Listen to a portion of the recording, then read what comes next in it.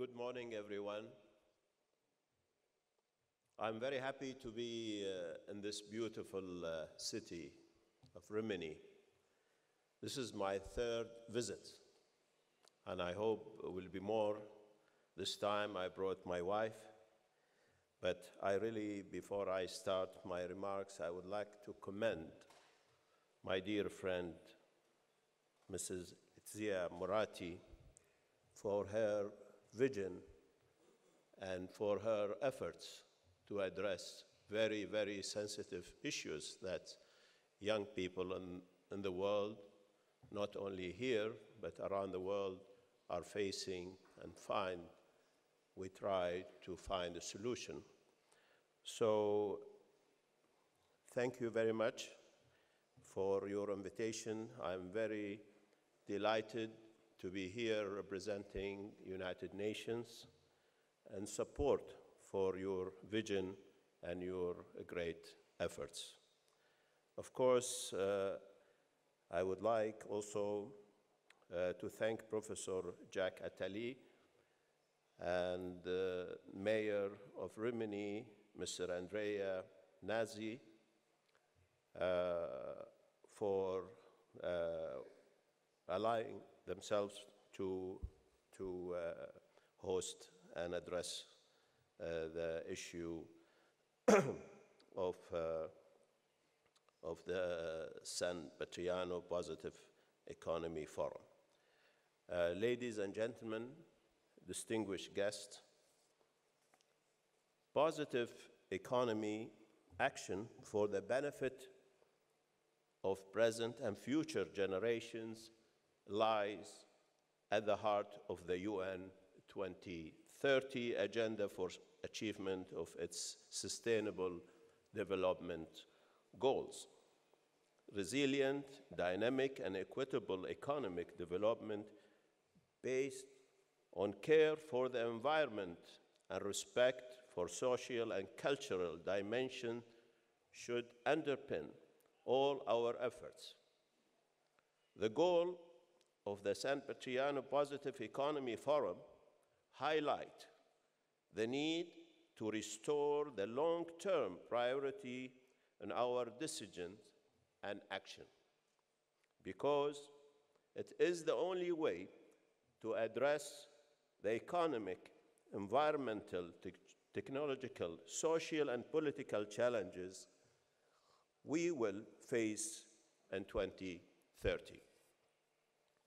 The long-term perspective is essential, but our immediate problems and challenges are critical.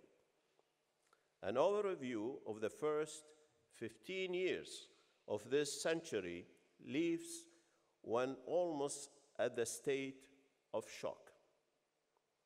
When you compare the way our world could be, given its store of natural resources, its accumulated wealth, advance in technology and medicine, the expansion of human capability, and the way events have actually unfolded. This includes numerous local and regional wars, invasions, ethnic cleansing, mass dislocation of the populations, diseases, refugees, crisis, terrorism, and civil strife. This is not to mention the challenge of expanding income inequality, climate change, ocean and land degradation, and other environmental and social issues that affect millions of people worldwide. These issues have to be addressed strategically, urgently, and with a great sense of purpose if we expect 2030 to present us with a better outlook than we have today.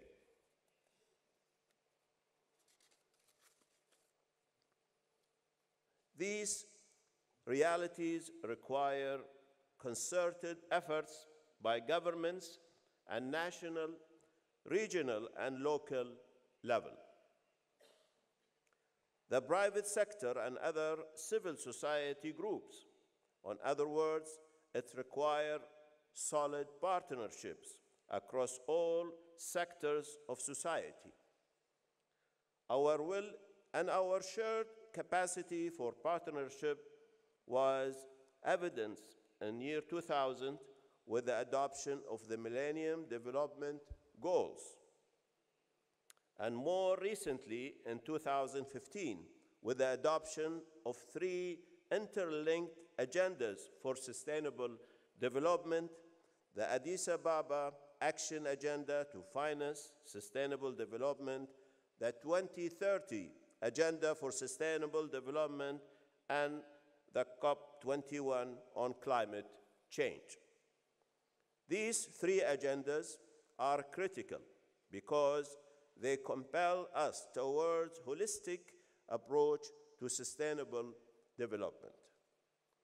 Sustainable development requires us to deal with the problems in their relationship to each other, whether we are talking about science or the integration among us species or the integration interaction of different ecosystems. We need to think in terms of interlinkage. This also includes the economic, social, and political sphere, since sustainable development calls on countries to deal at the same time with efficiency and equality, which is not only complex, but weighted down with value judgments. At the United Nations, we have long emphasized the pivotal role played by economists in sustainable development, which is crucial if we are to address income inequality and poverty eradication. The issue of income inequality has received fresh attention by economists who cite this an increasingly global problem affecting even the developed worlds. It is a major issue for our economic agenda if a small group of people increasingly down most of the world's capital and resources. A world with diminishing middle class, restricted mobility, and increasing levels of poverty is not sustainable. Sustainable Development Goals 11 which calls on the international community to make cities and human settlements inclusive, safe, resilient, and sustainable. Stresses the importance to support positive economic, social, and environmental links. Contemporary challenges and opportunities reaffirm the advantage we can collectively gain by adding the cultural component to this recipe for positive societies. Culture is intergenerational and represents a way of life. It defines our behavior, our beliefs, and our values. Therefore, we should not dismiss the impact that culture holds in the creation of the societies we want. This is where the role of the United Nations Alliance of Civilizations is paramount to promoting positive economic development. We aim at going deeper to highlight the root causes of inequalities, intolerance, social and economic exclusion. United UNAOC focuses on mediation before and after culturally, religiously based conflicts. To date, we bring young people from across the world to address global challenges on the context of cultural and religious diversity. Since the first edition of our summer school almost 500 youth representing 119 countries participated. We have provided monetary and financial support to young entrepreneurs from the Euro Mediterranean region. Up to now, 60 young entrepreneurs coming from 23 countries bordering the Mediterranean Sea took part on the initiatives. Since 2010, our fellowship program supported by the German government has brought together over 200 young civil society young leaders from the MENA region with young leaders North America, Europe. It engages their fellows in intercultural dialogue to broaden their understanding of culturally sensitive topics. But the impact is more dramatic when you consider the work done by those who participated in our projects. Since 2008, our Youth Solidarity Fund has provided seeds funding to 46 outstanding youth-led initiatives that promote long-term constructive relationships between people from diverse cultural and religious backgrounds. Coming from 30 different countries across Africa, Asia, Latin America, and the Middle East, the work of the supported organization impacted over 700,000 people. Additionally, the impact of NGOs, which were recipients of the International Innovation Award, IIA, have benefited over 600,000 people from 88 countries around the world. Our program is in partnership with the BMW Group. We select innovative and sustainable projects of non-profit organizations that promote dialogue and understanding. Our engagement with youth continues during 7th Global Forum in Baku, Azerbaijan, which will be carried under the theme Living Together in Inclusive Societies, a Challenge and a Goal. That will take place on April 24, 25 this year. We will organize a youth event which will be a unique international opportunities for civic and intercultural participation for 150 young people. They have been selected from diverse backgrounds to discuss common issues and to network. One of the main lessons learned from these various initiatives is simple. If the seeds of understanding and stability are not planted on the hearts and minds of the young men and women today, we're going, we will not achieve peace or economic development tomorrow. Therefore, our activities focus both on the individuals and on collectivity.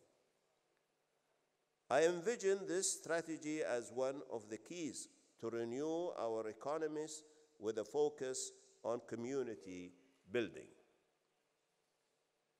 Mentioning community building, this is where the efforts of the community of San Patrignano meet with the United Nations Alliance of Civilizations.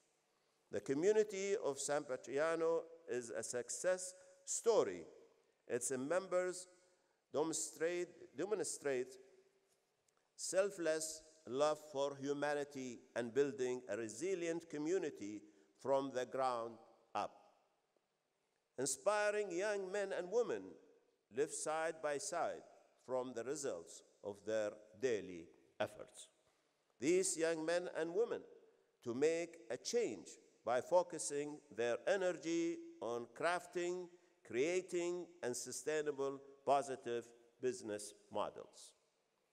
They make a change by transforming their pain and suffering into positive energy for the improvement of whole community that sustains itself through entrepreneurship. This process reminds me of a cycle of life. It is a cycle from birth to growth and maturity. We see today that this cycle is being threatened at the core with the challenges such as violent extremism and terrorism.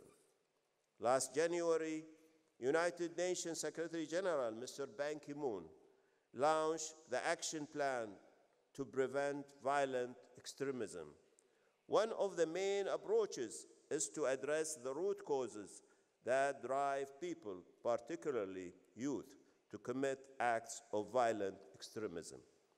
The plan clearly states we have to empower youth and identify better tools to support young people as they take up the causes of peace, pluralism, and mutual respect. It is worth noting that United Nations Alliance of Civilization participated in the ad hoc committee that put this action plan together. We can affirm the community of San Patrignano has found one of the solutions to greatest threats we face. When we look at their model, they have found the how. Its members involved hard to reach young people. They empower a portion of society that is vulnerable. We now know that vulnerability of our youth leads to disasters consequences. Take a look at the waves of violence carried by young people under age 25 against their own communities, the community of human life. No region of the world is safe. In less than a year, the world witnessed deadly terrorist attack in Nigeria, Cameroon, France, Turkey, Kenya, and now Belgium. To name just a few, there are thousand young foreign fighters traveling to conflict zones. Many of them return at random slaughter human life. At San Patria- Patrignano, vulnerability is targeted through vocational training and consistent support. After gaining the required experiences, they train each other and give back to the community. They are survivors who became entrepreneurs. Mrs. Moratti is taking the success of San Patrignano to another level with the initiative of E4 Impact. She sets the bar higher by transforming the successful community showcase from the local to the international level. In Uganda, Nigeria, and Kenya, with more centered educational perspective. The effectiveness of this model is undeniable and contributes to the long-term investment towards more peaceful and inclusive societies. This is why we have signed the Memorandum of Understanding with Mrs. Moratti in order to enhance this shared vision of concerted effort. I strongly believe that working together with an organization like yours will enable us boost our potential in solving youth problems and dilemmas. During this process, we at the UNAOC should leave no one behind, just like the community of San Patrignano leaves no one without help. I thank you.